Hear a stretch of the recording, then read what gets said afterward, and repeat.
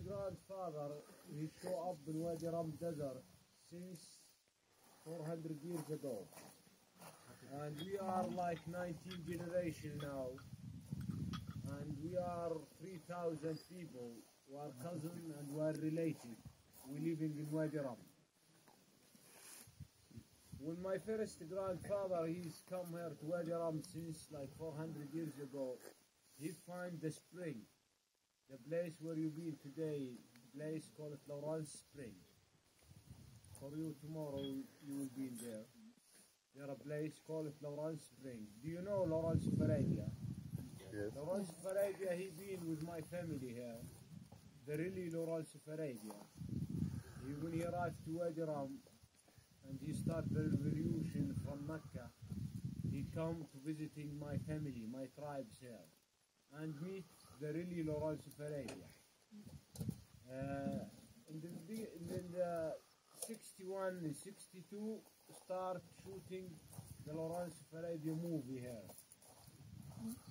And the spring, why we call it Lawrence Spring? Because tourism in the beginning, the 80s, start to show up there in Wadi Rum, and people call it Lawrence Spring because Lawrence Arabia, when he arrived here in Wadi Rum, he used this spring.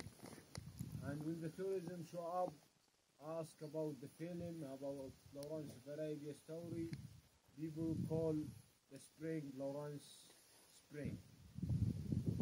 The spring is very important for my family before Lawrence of Arabia, you know. I mean the reason of my family settled down here in Wadi. Because this spring, you know, always come from the mountain and never stop. Why I call it important and why my family settled down here. Because if this spring stop in summertime, my family will not leave here in Wadi Rum. But the water always come from the mountain and never stop. Summertime, we have very hot days, 45, 40, and the summer very long, uh, but still water come from the mountain. Never the water stop, and this the important reason or the strong reason my family settle down here in Wadi In the past, you know, no border, no countries. And when he arrived also to Wadi here, he find the mountains protect, you know, protect him, for example, from the sun.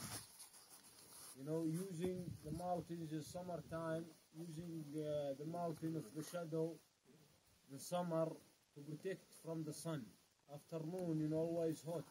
And people live near the mountains, the big mountains, and use the mountain's shadow for a rest afternoon. And it's fresh wind. And also using the